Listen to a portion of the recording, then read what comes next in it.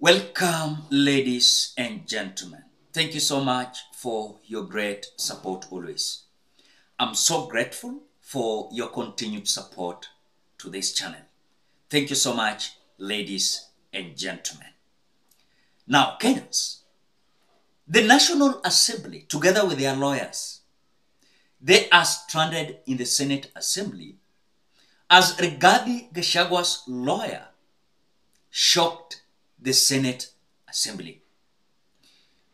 The lawyer to Rigathi Gachagua claims that the National Assembly is accusing Rigathi Gachagua for acquiring 600 million Kenya shillings to renovate his current residence for deputy president, not in accordance to the law. But again, Rigathi Gachagwa's lawyer is reminding these members of parliament, but it is you who approved that 600 million Kenya shillings renovation for the deputy president current residence. Yani, members of parliament hao ndio wali approve. They debated on that issue and they approved that Rigathi Gachagwa's current residence was to be re- renovated with two with 600 million Kenya shillings.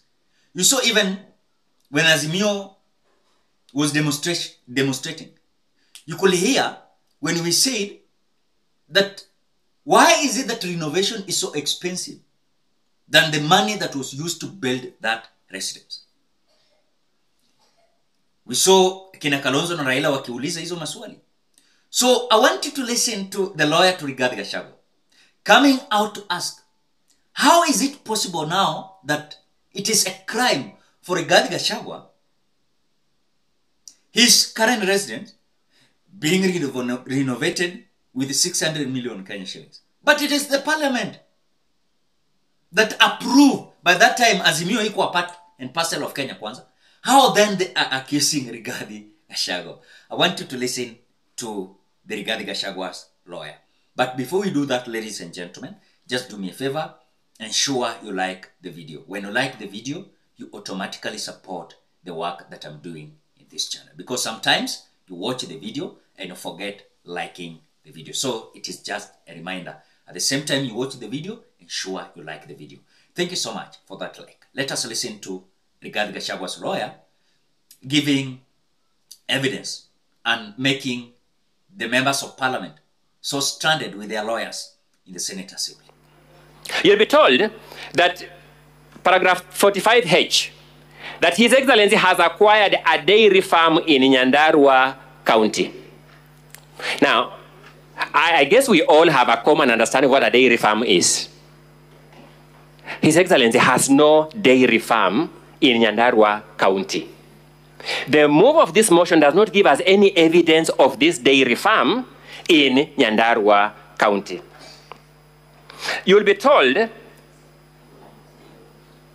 that His Excellency has used the office of the Deputy President to corruptly influence unnecessary and expensive renovation of his official residence in Karen and Mombasa.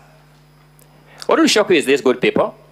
The contract for the renovation of the official residence of the Deputy President was signed by the controller of State House. Unless the move of this motion wants to make a claim that the Deputy President conspired with the State House to end to have this contract executed. Number two, it will be known to all of us as members of parliament that the money for renovation of this official residence was approved by the National Assembly. Is the National Assembly conceding that it approved money for unnecessary expenditure by government? How can the National Assembly approve money for use for renovation of the residence of the Deputy President? Then, after that money is used for the intended purpose, the renovation of the, the official residence of the pres- now drag the deputy president for impeachment for the reason of that renovation. I said, It will move through the ridiculous to the embarrassing.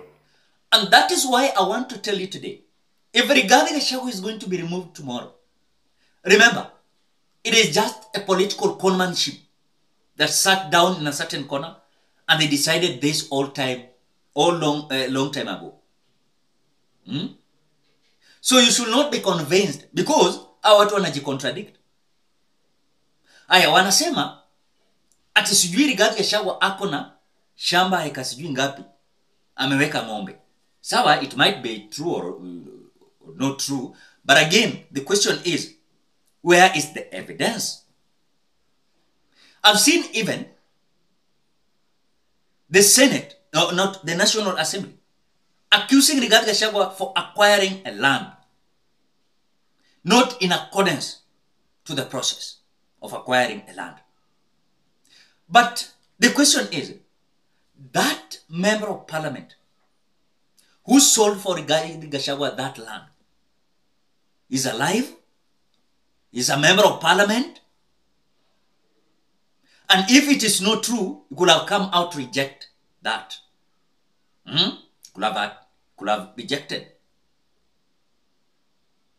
But the reality is, these people are trading on some allegations that does not have evidences.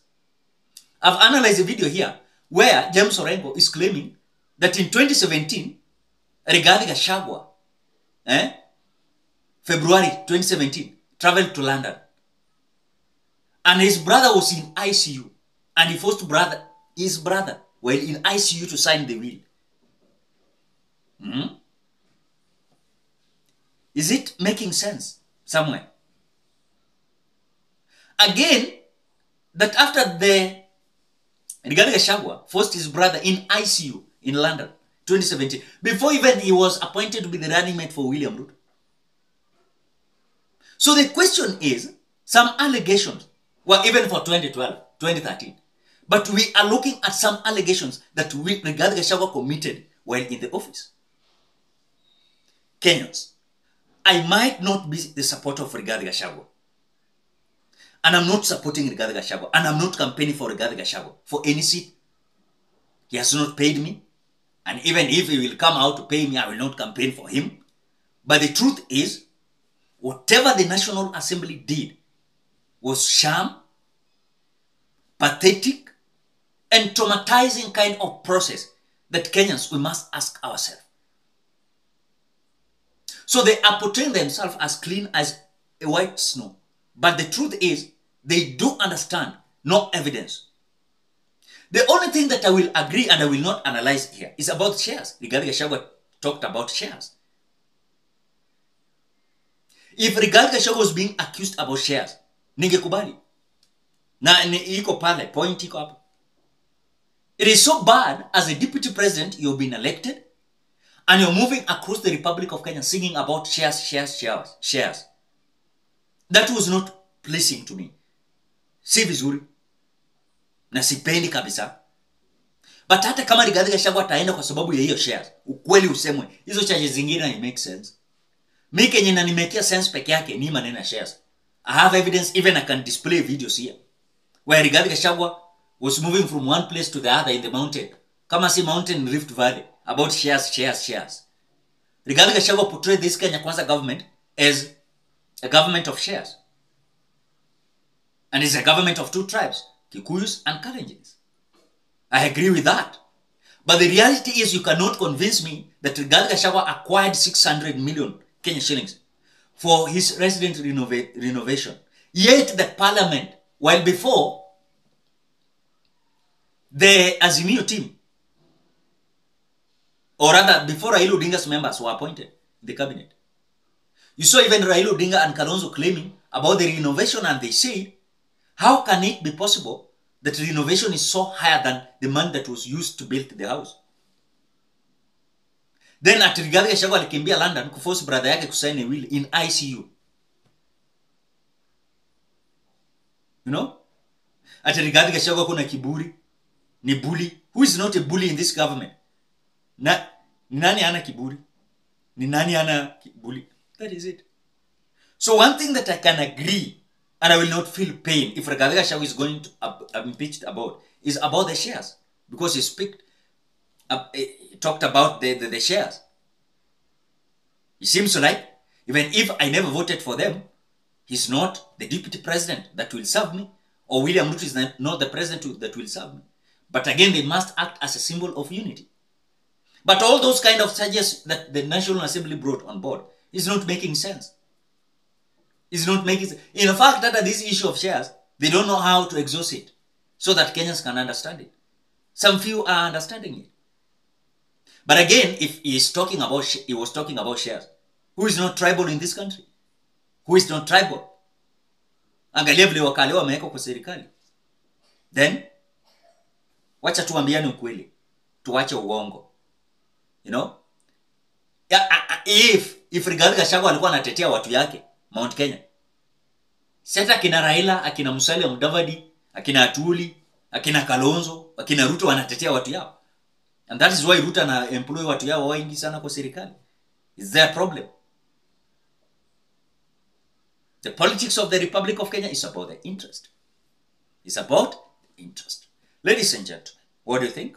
Drop your opinion at the comment section below. Otherwise, thank you so much because of your great support. Please consider subscribing, liking, commenting, and sharing this video. Bye bye till you meet in another video.